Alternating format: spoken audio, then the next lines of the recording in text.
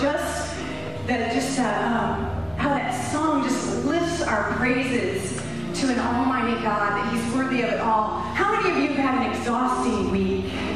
How many of you like are getting kids back in school and getting back into routines and sometimes it feels like it's crashing in, but you know what? He is worthy of our praise every last he's through it, he's got a purpose for it, and he's got a plan. Do not give up, church. Do not give up because we are we are ready to roll. And I'm telling you what, if you feel pushback, one of the reasons is because 21 days of prayer is here. Right? Uh,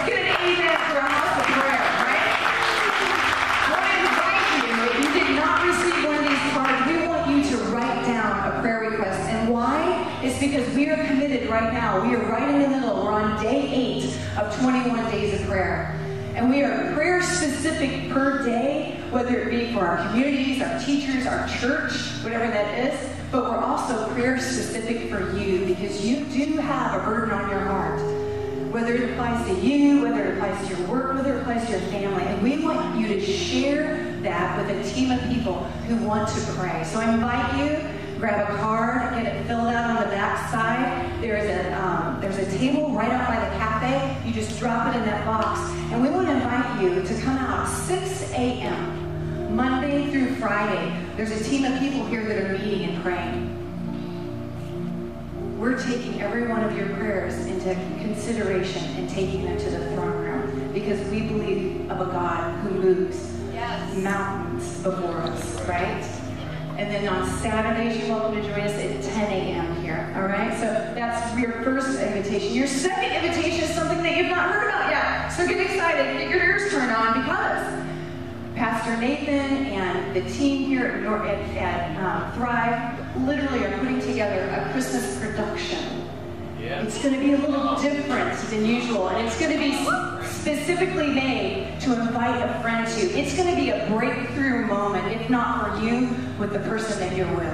And we want to invite you to, to participate in this. So if you've got some mad skills that you would want to do an audition for, we want to invite you into auditions. Go online. You're going to find that auditions are open September 15th through the 18th. So it's not just and, it's actually 15, 16, 17, and 18 that those will be available. If you've got some skills in this area or you just have a, if something's going on in your heart right now and you think, I might, I might want to do that, we want to invite you to click into that link and get involved because this is going to be a life-changing Christmas for a lot of people. Uh, last on my list, but never really last because I'm the next gen pastor, is we want to extend a hand to these children. We love our little people, and we love that the Holy Spirit is doing the work in them. So pray with me. Father God, we just praise you and thank you. And I ask literally, Lord, that you will just, you will touch them, you will meet them in their classrooms today. Lord, that literally that you'll begin unlocking things in their hearts for you, that they will begin to understand you in incredible ways, that they will claim you. Literally, they will just um, claim you as theirs forever. And Lord, I thank you that they are blessing us. I bless each one of these teachers and their touch of Jesus in their lives. Lord, that they are the hands and feet of Jesus as they serve these children and they literally partner with you in growing them up in faith. We love you and we bless them in Jesus' name. Hey, while you have a hand out, would you please extend a hand to a friend and say hello?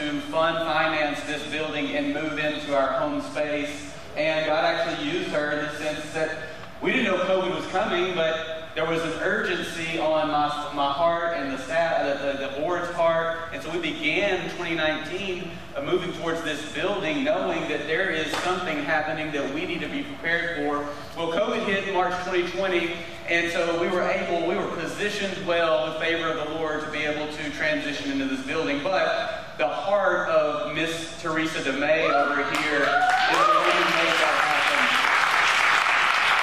Love her love her so much. Uh, we met at ACPA for the first three years, and she allowed that to take place. And completely rent free, we remodeled the place. She just said, use it as much as you want. Now that's kingdom, right? Yeah. That's so kind. Yeah. Hey, I want to introduce, I want to actually uh, invite all of you as well to Israel in 2024, for the June 4th to the 14th. I want to invite you to come with me. We're going to have a great time. I guarantee you this is the best guide I have ever met. She's not only a historian, I mean deep historian, a Bible, biblical uh, scholar. She helps theologians translate the New Testament, though it was written in Greek and that was a common language. Hebrew was also a language, so she helps translate from Hebrew into English, and there's a unique variation for that and a reason for that. You'll learn while you're in Israel if you come with me. But she also runs with uh, archaeologists there, so she knows all the interesting things that are going on current day in their excavating. So I want you to be a part of that. She is an intense teacher, like 10, 12 hours a day. She can teach nonstop. She is a unique, one of a unique kind for sure.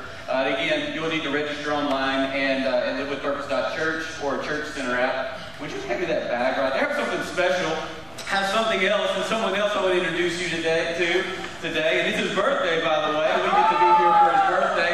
Uh, you've probably seen him on Comedy Central. You can find him on Amazon Prime. He is hilarious. I say he has been charged with restoring joy back to the church.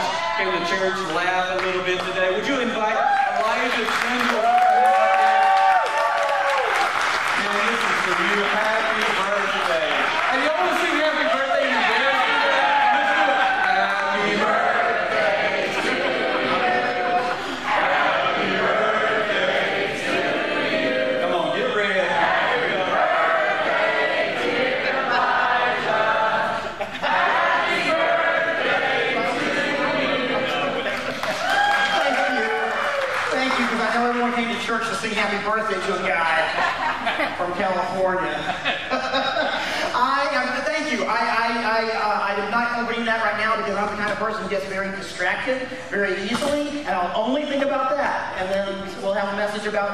In that bag right there today.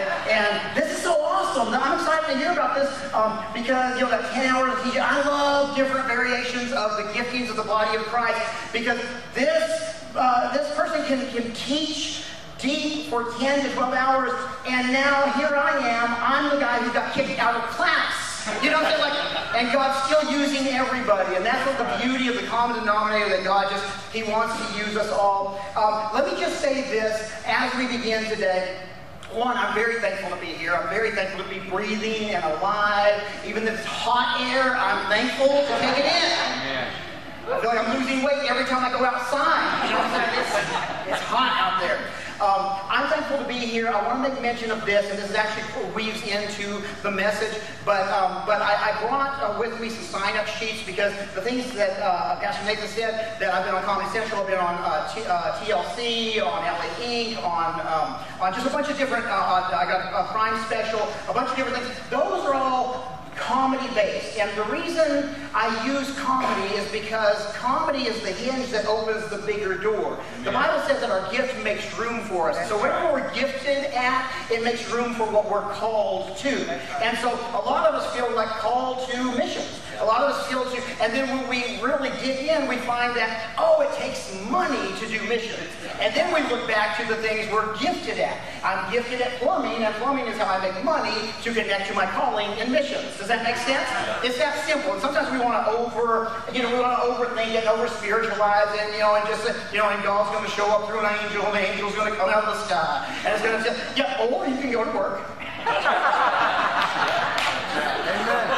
and put a little aside every month and do that kind of so so is the gifting that God gave me to get kicked out of class number one, um, and then uh, and then later on in life to be able to open the doors to the things that I'm really called to do. And one of the things I'm really called to do is is go into prisons and work with juvenile correctional centers all over the country. Um, and and what I've what I've found is that even though that's a great calling and a great work, and a lot of people really appreciate it, Southwest Airlines still needs their money.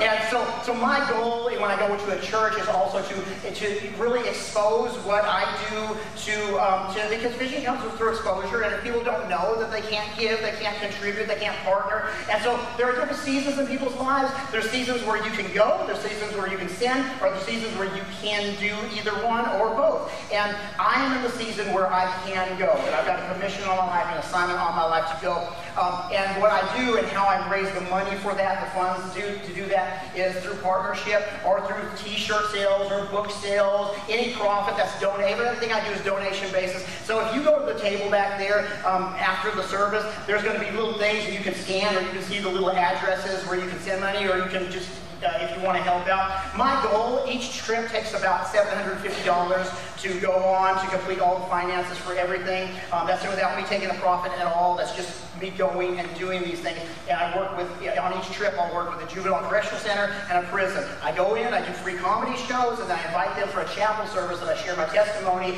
and then I roll them into discipleship with a local church um, because their families are in the local community. So I want you to know it's not just me trying to reach the inmates. I, I believe if you're called to somebody, you'll try to reach their entire world. Yeah. And so, and so it's, it's, me working with the families and connecting them to discipleship in churches. So it's a big program. I'd love to tell you about it. But if you're interested in that, my goal is to come out of here, and I believe some can stand. And I'm asking those who are in here that ignites in passion on the inside. Know, I know that's not going to be everybody. Listen, there's some people who just have strong passion for um, for missions, and you didn't have that until you went on a missions trip. You were exposed to that. You went on a missions trip, and then you came back, and, and maybe maybe the community was starving over there, and you came back with this passion, and with that passion, you're just like, uh, you know, we get we get excited. You know, I get excited when I talk about, and so maybe you came back with a passion or mission, you hear everyone's going to Chili's afterwards. You're like, Chili's, how dare you? There's people starving. You're like, well, I'm hungry too. And, yeah, so, so there's different levels that people, you know, and so me, I'm very passionate about this, and it ignites within you. It's not going to be everyone's cause, but it is our responsibility to ignite that. I say all that because my grandpa, and this is part of the, let's go ahead and pray so that way you'll know it's officially the message. Father God, help us. Amen. Um, my, my grandpa, my grandpa died in prison. He spent his life in prison. I only had week-long experience with my grandpa when he was out on parole one time. And uh, my nana, uh, I, I, believe she sent him back to prison. And make no mistake, she was no better. I come from shady roots. And, and my, my grandpa, so I'm half Mexican, half white boy. That's the Mexican side uh, of me. I'm half Mexican, half any any brown crowds in here? Brown yeah, yeah, yeah. You know a lot of stuff. Um, I, I, I, I, I, am half Mexican, half white boy, which means I hire myself for a lot of jobs. Um, this is called testing the crowd. so my grandpa, he was in prison. And a guy that was serving time with him, Skippy from the Barrio, the neighborhood, um, little area that my family's all from. Uh, Skippy got out of prison, and while he was in prison, uh, uh, a group came in and shared the gospel. And Skippy gets out, and he's hardcore. He's like, you know, my grandpa, his generation, goes, I'm talking about the the old cholos. Uh, I don't know if you know what I'm talking about. There's a certain thickness to the mustache. You know what I'm talking about? just that certain, there's a height to the, the way. Men make an interesting choice with our pant line. Um, we, we, we decide either we're going to wear it down here and brag about that we have the same waist size since high school and ignore that our gut is hanging over the thing. we make a decision where it comes up higher and higher. So if you're from Los Angeles, where all my family's from, and you're Hispanic, the pants go higher and higher and higher. And, and we, we're big, and the waistline, you know, if you wear a 34, you're wearing a 44. You know, like, and they, they go up and up and up. The older you get, the higher you get. And some of those old cholos in there, like, I, my Uncle Javi, he's in his 80s. I saw him two months ago, and he was like, oh yeah, the weather's hot out there, isn't it?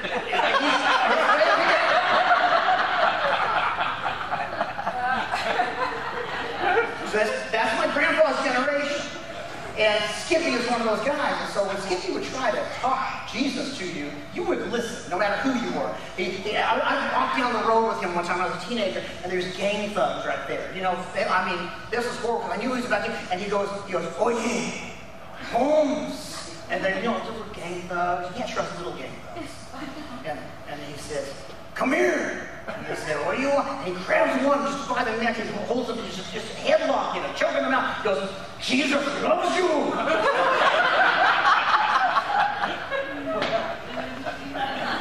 so Skippy goes into a mental facility that my nana has checked herself into because she was a heroin addict for 17 years. And she, in, a, in an attempt to shoot up, she accidentally broke the needle off into her vein. And if she checked herself into a hospital, then they would turn her into the police after, after that. But she knew if she checked herself into this, she could check herself back out after they got the needle out. So she's in there, and Skippy walks by, and she's like, Skippy, is that you? Because he's just visiting somebody, and he's, Bertha, is that you? and they go on and on, you know. And turns out over a three month period of time, Skippy introduces her to this concept that of Christianity. And she was like, I tried everything else, and, and she gets she gets saved. And when I say saved, I'm talking about Mexican Lord God saved. And when I say Mexican Lord God saved, this is how I define it. You can tell in a Hispanic's prayer how bad their life was before by the amount of Lord Gods they put in the prayer. Lord God, we just come to you, Lord God, and we thank you, Lord God, and Lord God, we call them fire, Lord God, from heaven, Lord God. The more Lord Gods in there, the more sin has us. It's kind of like us whites with the Father The same and so my nana got Lord God saved. And that was before I was even here. So she, from this last, she, she, she's in her 90s now, never touched another drug. They're saved and delivered by the power of the Holy Spirit, followed God all her life. Yes. Amen. At that time in her life, if you would have asked her, is there any hope? She would have said, probably not. She, 17 years on a drug like that is a long time. And you would think that it was too late. What I'm going to talk about today is for those who feel like it's too late. And maybe there's someone in here where you feel like in your life it is just too late. And I can relate with that. It's my birthday today. There's there's some things that I was looking at, you know, as my birthday came up, where I have to really consider is it is it is there still time or is it too late? Because there's different kinds of variations. There's there's that too late where it's like um, you know the guy who's in his 50s and he's still talking about if coach would have put me in high school. You know? For that guy, it's too late, man. It's, it's too late. That's good. but then there's other factors of feeling like it's too late. Um, I worked with this recovery center the other day, and uh, this was well, this was a few weeks ago. And there's a gentleman in there, and he's kind of head of the house in there you know, he takes in people who in transition and people, you know, dealing with drug abuse and stuff. And they got a new TV, and they got in the, in the house. And in his room specifically, he can't get his TV to operate because they changed the cable system. And so one thing that he really loves in life is to watch a show called Knight Rider. Anyone ever heard of Knight Rider? Yeah, good, I'm glad. And, well, as, as we call it, the Knight Rider. You know what I'm saying? Like, you know, we're going to go to the Walmarts, and then we're going to watch the Knight Rider. And the Knight Rider was one of his favorite things to watch. It's still on. It's a station, but he, for a few weeks, has not been able to watch the Knight Rider. And I said, well, let me look at this. Because he was always like, yeah, I can't watch my shows anymore. And I said, well, why not? He said, because we got the new system. And that's how we respond a lot of times to new systems.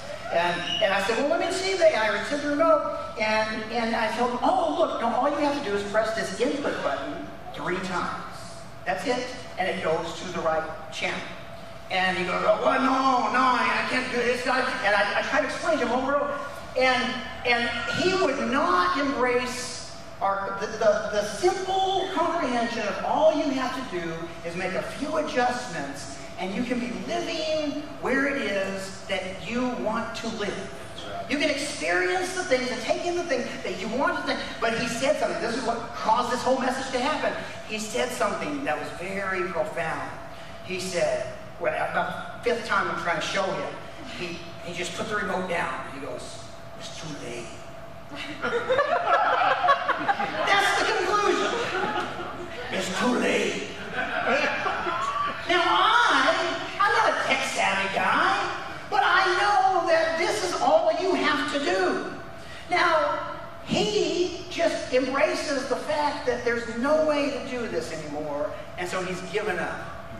And what God sent me here today is to remind some people that are watching online and in the room that He knows how to make and show you how to make those few adjustments of areas in your life. And sometimes we just say, no, it's too late because we're not experiencing or because we this, this new thing or because and here's the hardest part is we feel like we really double down on it's too late when we deal with it's my fault and I did something wrong the disqualification feeling that we have that it's too late to accomplish or achieve or, or, or get back on course um, and be used by God maybe in an area because we truly did wrong and it's too late. Um, interesting thing that God said in His Word it says this it says that God's giftings and His callings are without repentance. And what that means is that God is not sitting up in heaven watching us having failed and saying, oh, well, I'm sorry I ever gave them the call. He's not repentant of it. He's not apologizing to anybody for his gifting and his callings to be on our life. And he knew that we would have areas of struggle in this life. That's why he's released to us the power of the Holy Spirit to help lead us, guide us, and direct us and navigate us through these yes. struggles. Yes. But we oftentimes think because this happened, it's too late. And our response is so often, it's too late. and we just double down. There's a guy named David in the Bible. We find him in 1 Samuel chapter 30, down in verse 6. Uh, some of you are worried I won't get into the scripture. 1 Samuel chapter 30, verse 6. We find, we find David at a time when he is feeling like it is too late. We find him at a, at a season where it's just like, what has happened to this guy? Because where we met David, this, I love the story of David, because David catches us in different areas of our life. David catches us in high moments, in great moments, in glorious moments, and in very low moments. That's why I believe the Bible, because the Bible leaves in the shady parts. Yeah. You know what I'm talking about? Yeah. The Bible leaves in the parts that I need to see. So that way I can say, oh, okay, well, if God's cool with him, then God's probably cool with me too.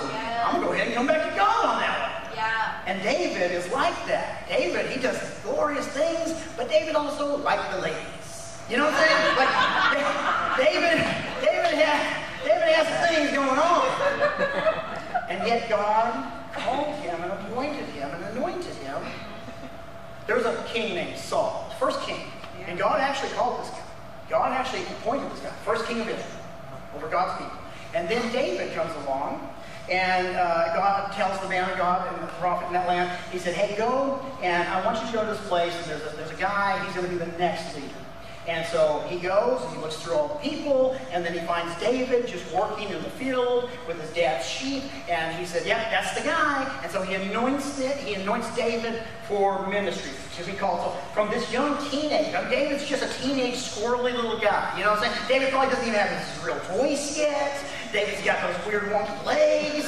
He's just He's out there tending in the field. And even everyone even David's dad's like, I got one other. Day. That surely it can't be this kid you're talking about. And was like, he's me. This, this is the one. And, and the, the man of God anoints him, and David goes back to work. That's, that's the thing we should do. We're anointed to do something. All right, get back to work. But I'm anointed. Yeah, get back to work. Because right. that's where we prove ourselves. That's right. That's where that's where we, we learn the character building. That's where we learn what it's going to take. We think it's hard work now. When we're fully in it, listen, this is David's being prepared. And so then David, the next time we see him, and this is very important in this story, the next time we see David, David is coming with some breadsticks and some snacks that dad sent to the brothers who were all in the Israelite army, okay? And, and David's out there tending the field, they're nearby, and David comes up, and guess who he sees? The giant pickle. Veggie tail, veggie tail David comes up, there's a guy named Goliath. Goliath is a literal giant. He's a giant man and David is a teenage boy. And this giant man is out there cursing out the army of the Lord. He's out there making fun of them. He's out there, he doesn't have a covenant with God. He's out there, and David can't believe his eyes. You know, these teenage boys, you know how they are. They're like, man, come on, who this guy is? Like, David's out there, he's thinking, what's, who's going to fight? Come on, get out of this. And, and David's brother's like, man, what are you, what are you doing? What are you even doing here? You have nothing to do with this. And David's like, you guys aren't going to fight? This guy, this guy's not even, he doesn't even have a covenant with God. He's cursing out our God, our God of the universe. He's and, and David can't believe it. David says something. He says, Is there not a cause? Is there not a cause? And, and David's brother's like, Man, just go away. And so David starts asking, Okay, what's going to happen to the guy who defeats this giant? And so one of the soldiers says, Well, you know um, Saul, the king? You know that daughter of his? You get her? And David was like, you had me in that daughter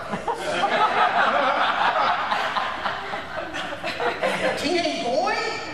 And, and David goes out there, and David fights Goliath. David beats Goliath. He has a slingshot. Boom, and the, sling, the, the rock hits Goliath right in the, the opening of his, his helmet. Goliath falls, boom, like that. David does a very teenage boy thing. He grabs Goliath's sword and cuts off his head. You know, uh, it doesn't say it, but he probably picks his head up and does a puppet show too. and then David gets the attention of everybody. It's like, oh my, who is this? And people can't believe it. To be drawn to David because there's an anointing on David's life. You know, there's certain reasons their people are drawn to you.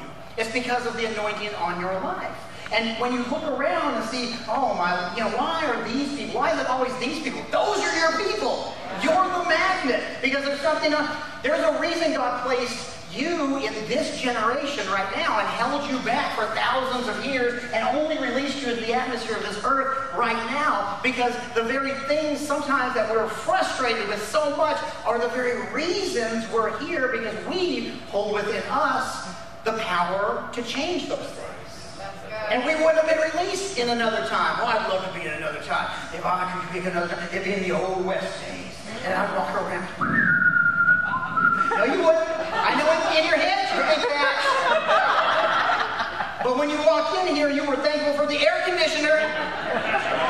You wouldn't have worked in another generation. I'd love to see. I'd love to be back in the Bible days. No, you wouldn't. You know what you love? Plumbing and sewage. You love flushing the toilet. That didn't, they didn't have that. You were built for right now. And David is built for exactly when he came out, so people started being drawn to David. People started even following David.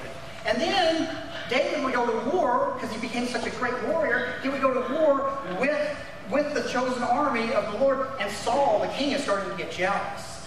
Because the women, literally says it, the women are writing songs about, they, they wrote the song. It said, Saul has slain his thousands. Saul's like, yeah, you right about that? My thousands.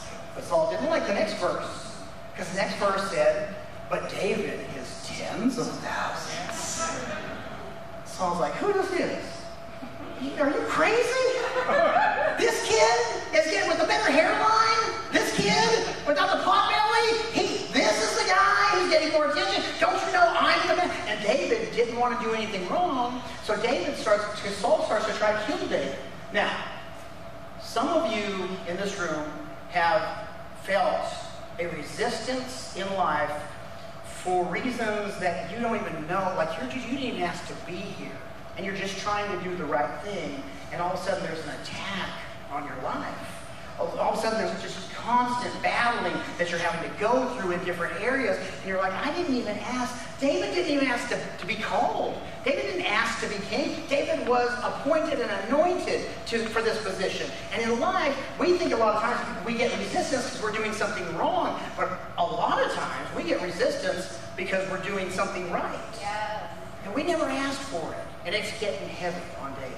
So David spends seven years gathering people to him, the, the mighty men of David, these warriors that would fight, all their wives, all their children, they're, they're all traveling with David, and David is hiding out, running from Saul because he doesn't want to do the wrong thing and touch and kill and respond to Saul. Even though Saul is doing the wrong thing, David wants to stay in the right standing. He's like, I don't want any trouble. I don't. And finally, David gets tired. Now, David, here's where we find him. David finds a group of people that he hasn't seen in seven years. And that's, that people group is called the Philistines. The Philistines is where we found Goliath. Remember the giants? Yeah. That was the Philistine army. Okay?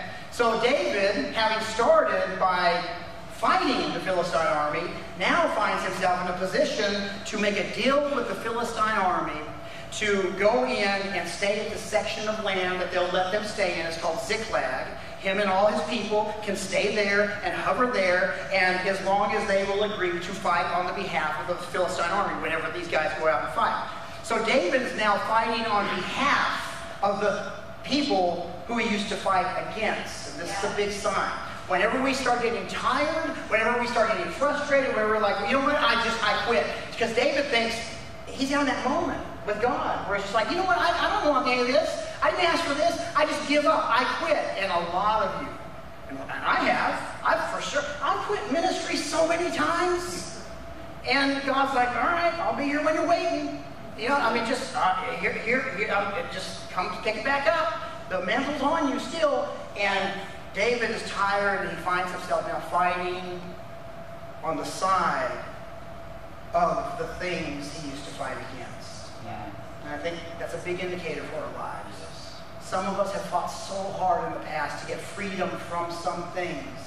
And then along the path, we find ourselves now fighting, fighting for the right to include those things in our still. We start fighting on the other side, and we realize that, wait a minute, this was something that I was delivered from. Not, not delivered, delivered so I could do this again. Be on this side of things. And David's just there. He's tired. He's tired. You know, and, and I don't blame him. I don't blame him. It's been seven years. He's been running. Someone's trying to kill him. And he's there for a year and a half in Ziklag, him and his people. And they come up against this army. David, uh, the Philistines come up against this army, and it's the Israelite army. This is where David, this is where David's called. David's called to lead this army, and now David is starting going to out, out to fight God's army with the Philistines. And Philistines are like, wait a minute, isn't this where we met David? Send those guys back to camp. That we don't want them on. They're going to fight us from the inside. And so then David goes back with his people, and they crest the hill, and and they come over. You ever seen that scene in Mulan, where where where the whole town is burnt down, you know, and they pick up the little doll, and uh, this is what David comes back to. When David and his army were out there fighting, and got turned back. Another army came in and burnt down their city, burnt down their village, and stole all the wives and all the children. Everything is gone. And it's not just David's, it's everyone who followed David. And this group of people were like, we started following you because you had God's call on your life, and now we've lost everything. Because we were following you and because you were the one who chose to pull the plug. We fought harder, we're more worn out than we've ever been, and now we've lost everything. And so now all these people are speaking of stoning David. This is a big deal. This isn't like, you know, um, some people in the Walmart parking lot talking bad about you. These are warriors. These are these guys can kill anybody, and they're talking about killing David. This is where we find David in 1 Samuel chapter 30 and verse 6. Here we are. We're, we're nine years in, almost nine years into David's life. And we've seen David just trying, just trying. And we see good moments, sparks of good moments, but if you're in that, if you're in that nine years, see, we we read the Bible like, oh, David, silly David, three verses down, you're going to be fine. But we don't read it as if it's like our real life. Because a lot of times we're in the middle of the story. In the middle of the story, we don't know it's only three verses. Because that three verses seems a long time. And there might be people in here that you're just, you're just tired. And it feels like it's too I feels like it's too late because when you're honest with yourself, the things that are lost are a consequence to the things we've done wrong. And that's where it makes us feel like God can't use me anymore because I'm the one who did this. I'm the one who. The importance here of what David is about to do that shifts everything. The press the input button three times and everything starts to reset and you can start to go on with the thing that you want to do, the freedom that you want to walk in again. The importance here in verse 6 is extreme in our life. David does something we haven't seen him do in a year and a half. Interesting, this timeline is the year and a half where we find there are no psalms written from David. That time when he was going to just take a break, his song, his song stopped his reaching out, his gifting that God gave him, he just stopped everything. And we got a pause in his life and it didn't go right. Some of us are taking time off from a relationship with God and unplugging because we don't understand what happened here, we don't understand, and we think it's going to work out better. And, and, and it doesn't. It gets harder. And we see David in verse 6, and it says something interesting. It says that David heard them talking, and he figured it out. It says, David encouraged himself in the Lord. David stirred himself in the Lord. Notice it says himself. Yes. David had to take an act of faith, an action step and do something that he hasn't done. He hasn't felt like doing. A lot of times we wait for those moments where like we feel like doing something. You know what I'm talking about? But I love. I love. I was raised in, around old school revivals. My nana would drag. I mean, when I say drag, she would drag me to the old school revival. She'd, Mijo, come on, you're not gonna die and go to hell like your parents. Let's go to. And she would drag. and I loved it. She would. She would I mean, she had those those Holy Ghost goosebumps, like that kind of stuff. And I love those moments. But this isn't the moment that looks like that. David doesn't feel any of that. There's no glory upon him. David stirred himself in the Lord. And I believe today God sent me because there are people who you need to just decide you're going to serve God anyway. You're going to say it's not too late for this part of your dream, this part of your goal, this part of your. You're, you're going to say, I'm stirring myself up in this thing. I'm not going to wait on feeling. I'm going to move as if it's already here. I'm going to call those things that are not yet as though they were, and I'm speaking faith over this thing rather than just assuming it's just it's falling apart. How the story ends is God gets back involved, navigates David and his army, they get everything restored to them and more as a result of David taking this action step. And I believe that's what God wants to do today. But I believe we're, we're bombarded with this thought that we are, because we're falling apart in areas, that that can't happen. I wonder if the butterfly ever looks at the caterpillar with that disdain, thinking, can't believe you're in that stage. Or they realize that we have to go through that stage. we forget that that little caterpillar, it, it was born and it's just crawling around. And, and it didn't ask to be here. It's just like, oh, I'm going to get to that tree in about two weeks. and then along the route to that tree, it seems like it gets worse because they come to a complete stop and then a complete isolation and build this cocoon around them. And in the cocoon, you would think, oh, good, finally they get a breather. Nay, they start literally melting away. Their, everything falls apart. And if you just ask the, ask the caterpillar during that stage, hey, how you doing in life there, buddy? He'd be like, oh, not so good. Like, you know? And maybe you're in that stage and you think because you feel like you're falling apart right now, that, that this is the end. But I'm telling you, three verses down, just, just a little past this part of your story, is when you realize it was necessary. You had to go through this breakdown. Yes. In order, you had to go through the isolation uh-huh. period in order to really develop into what's on the inside of you, the transformation that Romans 12 2 talks about. You have to go through this part in order to come out with wings on the other side. Come and on. now that tree that used to take two weeks to get to, you can fly within seconds to. And, and you don't look with disdain on the caterpillar going through that season. I believe that we're all in one of those stages of life and if you're in here and your wings are sprouted and you're vibrant, you're colorful, don't forget to encourage the caterpillar that's going through all, I mean, it's going through everything just trying to get by. Or don't, don't, don't to discourage, you know, encourage and just speak into the ones who are in isolation. Say, hey, you're not going to believe what you're going about to be like. It's going to be better than it is now. It's going to be better than it ever was before. I believe God sent me here today, and God worked this whole thing out because there's someone who feels like in your life, it's too late. And you don't realize that you're just in the cocoon right now.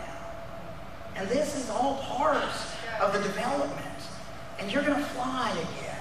You're going to go beyond, and vision's going to happen in a way it never has before. And people are going to see you shine once again. Yes. That's what's going to be your story. It's not too late. Good. It's only a matter of a few adjustments. You begin by stirring yourself in the Lord. What does that look like to you? It, it may look like you getting with God in prayer, in the focus of prayer. It may look like you getting with God in worship. It may look like you picking up your art and your gift again. I don't know what it looks like, but I know it's something that God sent me to do. Here's what I'm asking everyone to do. Ask everyone just bow your heads, close your eyes real quick. The only reason I ask you to do this is just create a private moment uh, between you, me, and God. Uh, whenever I'm somewhere, I never like to leave without the opportunity that I'm given to, uh, to just introduce people that don't know my God to my God. And that's through a relationship and embracing of his son Jesus, who paid a great price at the cross and laid down his life. And you may think, well, I, I have a nudging on my heart, a tugging on my heart, and I just don't know all the details. Friend, welcome to the club. None of us know all the details. None of us can understand it all. Or we're progressing at different levels in this, every one of us.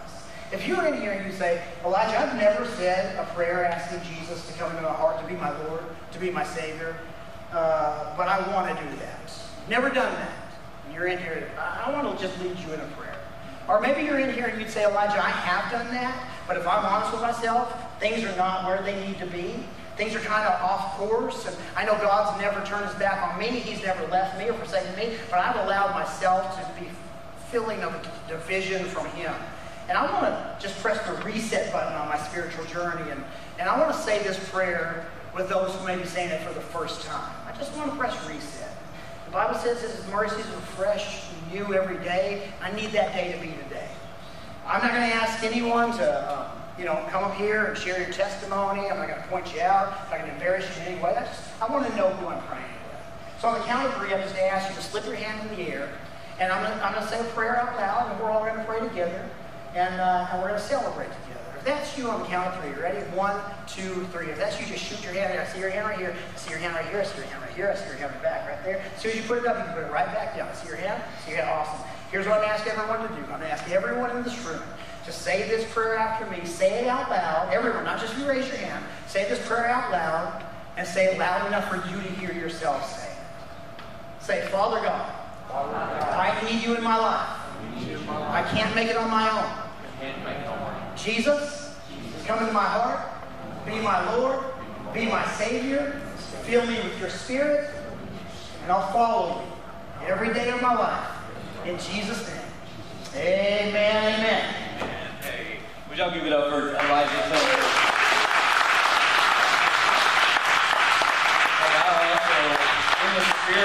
in the spirit of our 21 days of prayer, I want to continue to just model prayer for you so that you can be more confident at as you're getting those 21 days of, of devotional. So remember the Pray First app. If you'll show that Pray First app, I'm inviting you to download. And here's a little, uh, here's my screenshot of my video, my, my phone. So easily you can go in, find your Pray First app. There's several models of prayer to just coach you along, to, if you can scale alongside biblical prayers. We're choosing the prayer of Jabez today, and you can just pause, well, actually continue to play it. As you select these different points of prayer, uh, Church of the Highlands has actually put together these prayer models and the why behind that different prayer steps. And the first thing that Jabez prays for is a blessing. The second was influence. Third being presence and then protection. If You'll just hold it right there in bed. In First Chronicles uh, 10 and, and, 4, you'll find this prayer of Jabez. Jabez is it's in this lineage of names. And Jabez literally means born in pain. Could you imagine, hey, my name is, I'm a pain in the rear. That's my name. It kind of goes along with David was really in a little bit of a pain. A time of pain. You're in a time of pain, most likely.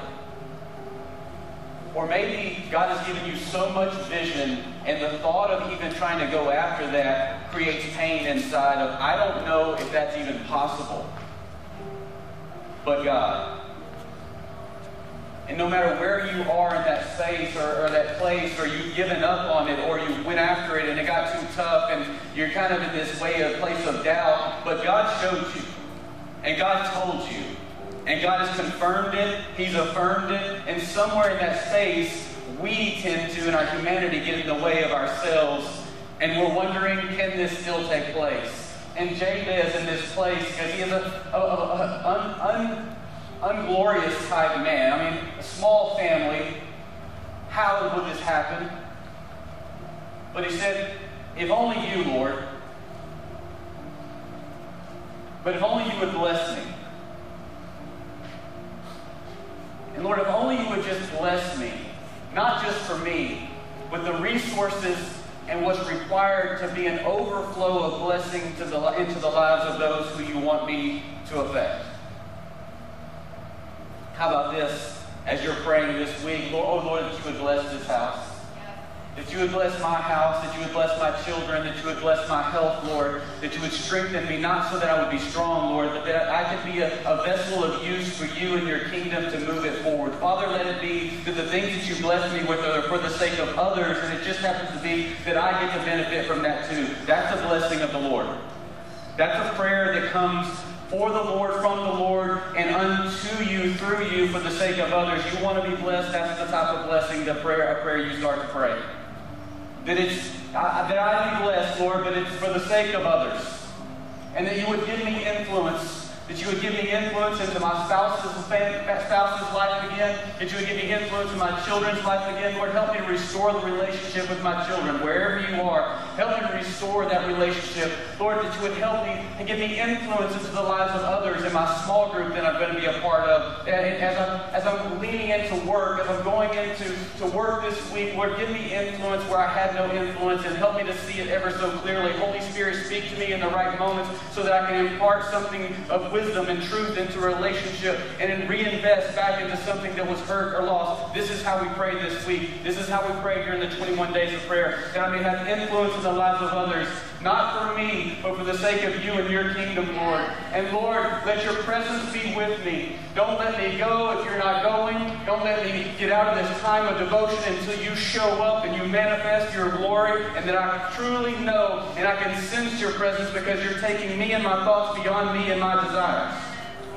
And Lord, as you give me the influence and you're blessing me, Father, let your presence just be so known, made known into the lives of others because, Lord, I don't want it just for me. I don't want it just for my house also, but I want it for the others that I'm coming into contact with. Lord, I want it for the church that you've called me to. Let this church be blessed. Let it be full of influence for the community. Let your presence fall upon it so others can feel your glory. And Lord, as we're going and we're being on mission for it, Father, protect us. Protect us from the things that we can't see. Protect us from the things that we can see. Lord, protect us from anything of the works of the enemy ever coming into contact with us. And Lord, let us be made known. Let it be made known that we understand that you are defending all things that otherwise would have come through, but because of your presence, because of the blessing, because of the influence, influence and because of the call of God on my life, and I'm walking it out. Amen. There you go. There's some prayer. Can I get that amen? Come on, so as you go through each day, choose one of these prayer models from this app and just choose to walk it out and then apply the different devotional points that we're attacking each 21 days. Put your own context in there and then just watch God begin to, to do a work and believe what you're hearing Him say.